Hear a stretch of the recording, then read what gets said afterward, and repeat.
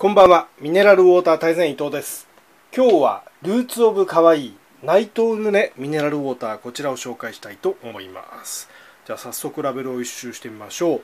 えーとですねこの内藤ルネさんという方は私全く存じ上げないんですけども、えー、ルーツ・オブ・カワイイと呼ばれる内藤ルネにより1950年代に描かれた美少女は時を超えて乙女心を魅了します。と書いてますね。このイラストがそうなんですね。えー、やはりちょっと時代を感じさせる、えーと、顔ではありますけども、まあ、それがですね現代でも受けるということで時代を超えていると良いものはですね時を超えるんですね、えー、他のあのこれにイラストとかに限らずですね良いものっていうのはあのー、ずっとどんな時代でも評価されますんでこのミネラルウォーター自体もですねとても美味しいものなので時代を超えておそらくこの先未来ずっと評価されていく水だと思います。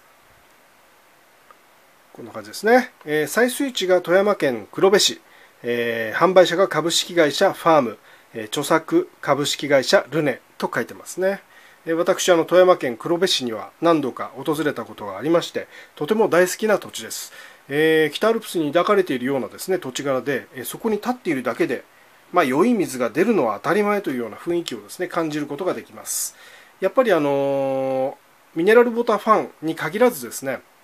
こう何かが好きっていう人はですねその何かが生まれたところとかに行きたがるんですよね。私もそうなんですけども実際自分で見ないと気が済まない男なので、えー、やっぱりこう、まあ、これが富山県黒部市に限らずですね、えー、できれば採水地まで行って工場見学したり採水道を見たり、まあ、その地の雰囲気っていうのを感じたいわけですね。そうすることによってですね水に対する愛情とかですね理解度っていうのは飛躍的に高まります、えそしてさらにその先に行くことができるんですね。やっぱりあの知るっていうことがですねとても大事なことなので自分の知識以上のものを現地で仕入れられる。それが将来の糧というかですね今後の活動の糧になっていくと思います。皆さんにもぜひですね採水地見学っていうのはやってほしいなと思っております。高度が49、pH が7ですね。非常に好みやすい水です。一般的な味覚を持つ日本人がですね、えー、好む味だと思います、えー、高度が低めなので、どんな場面でも活躍できると私は考えます。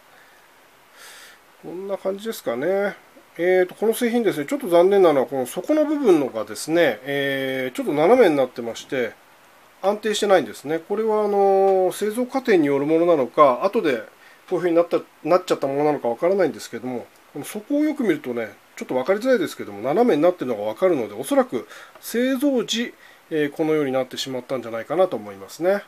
えこういう細かいところを見る人間もいるっていうことなので、え製造時、え製造者の方はですねちょっと気をつけた方がいいんじゃないかなと私なんかは思っています。えー、この製品ですね、えー、興味ある方はぜひ飲んでですね、イラスト目当てでもいいんで飲んでください。えー、私はですね、こういうイラストが可愛いから買うとか、えアニメのキャラクターの絵だから買うっていう人に対してですね、